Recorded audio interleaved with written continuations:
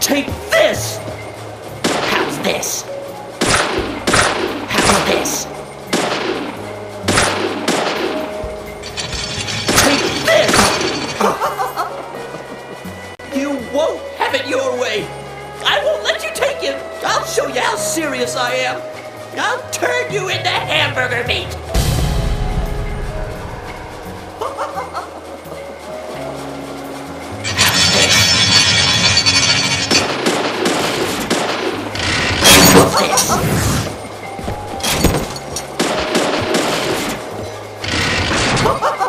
Looking pathetic, Emily.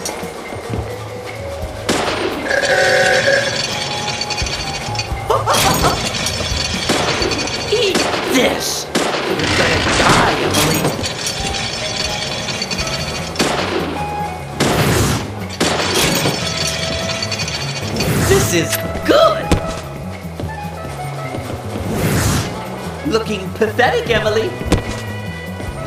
Looking pathetic, Emily.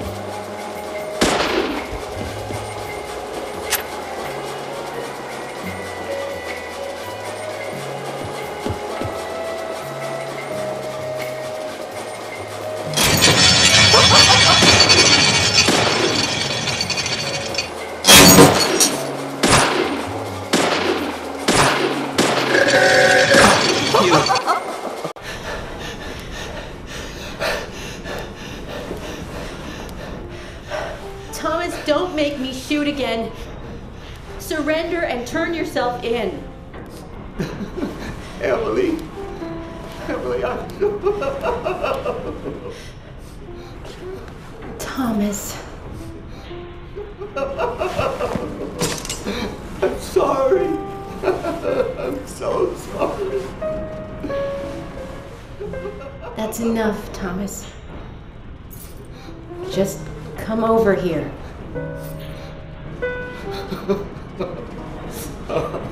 Emily. Emily, I just.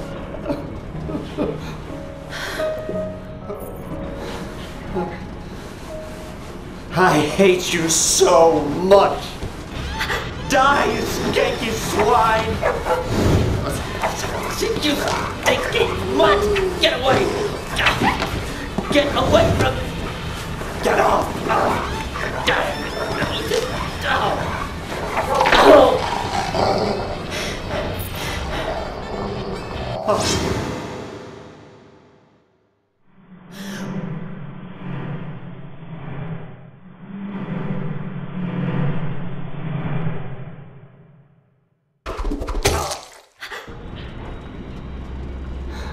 Thomas!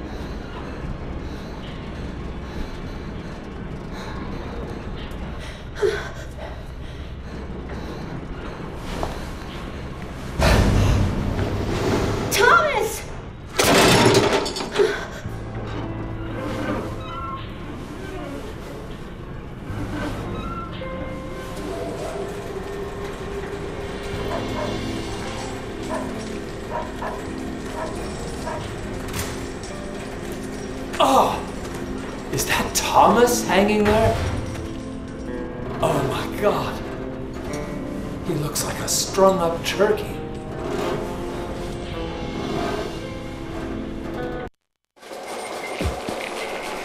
Zach, was that a gunshot?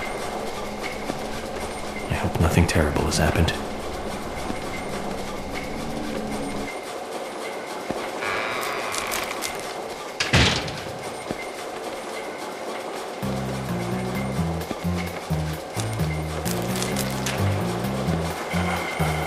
Hey, Are you here with your owner?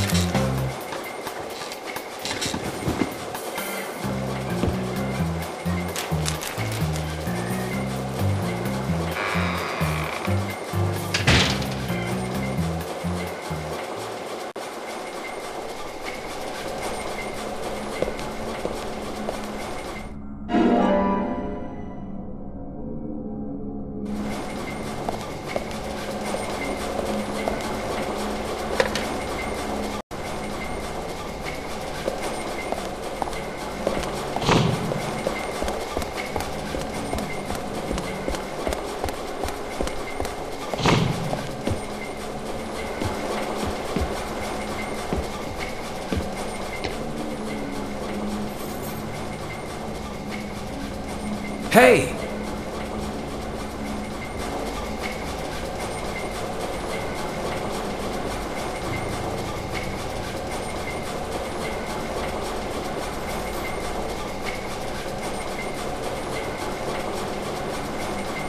York!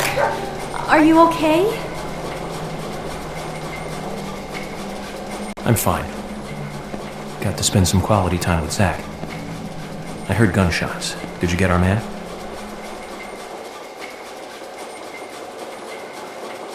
York. Thomas is dead. I shot him.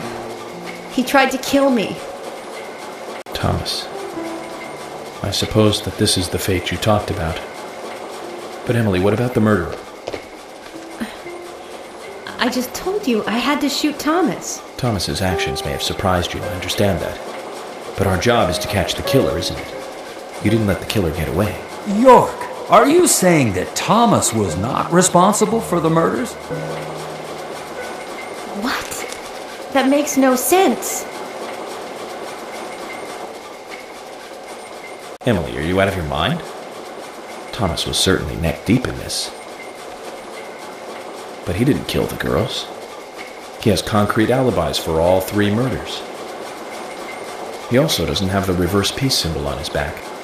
These are basic facts that for sure you haven't forgotten. Then who? I need you to be strong, Emily. If Thomas is not the killer, then there is only one other possibility. The only one with free access to the department files and doesn't have an alibi at the time of the killings. Love G himself. George? George is the killer? And since when did you start thinking this?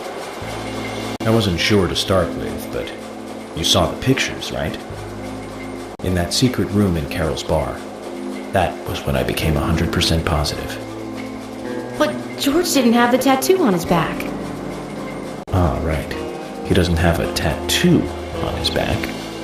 But there is a pattern there. What do you mean? Emily, I'm not saying that the pattern was the tattoo. Remember what Harry said. There isn't a single thing that can maintain its shape for eternity. And George's back is a perfect example. Hey, you two! Could you explain this so I can understand what's going on? Emily come in. Emily here.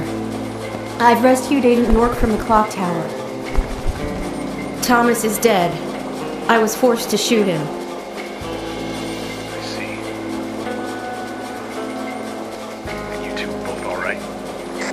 York is a little weak, but we're heading back to the department now. Okay. I'll be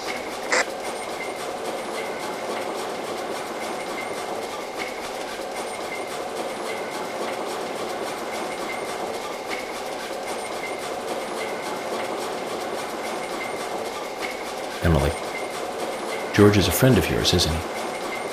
Yes. Then what we are about to do is going to be tough to deal with. Are you willing to go through with this? York, I'm deputy sheriff. This might be a small town, but I take pride in that. It's my duty to make sure that we catch all the bad guys in Greenvale. Even if it means facing an end that I would never have hoped for. Okay. Then let's get moving. This case is going to end at the sheriff's department.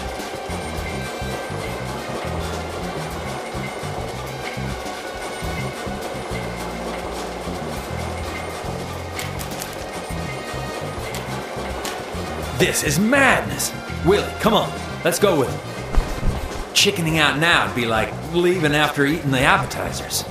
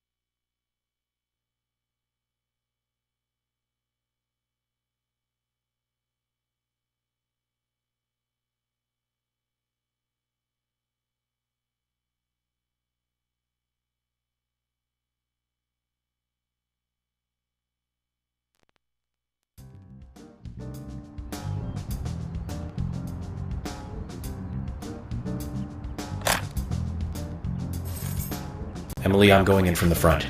You secure the back. Okay. What should I do? Kaysen, stay at the entrance. No, don't cut me out now. If this was a movie, I'd be some minor nameless character, and I thought I was the cheerful sidekick that helps solve the case.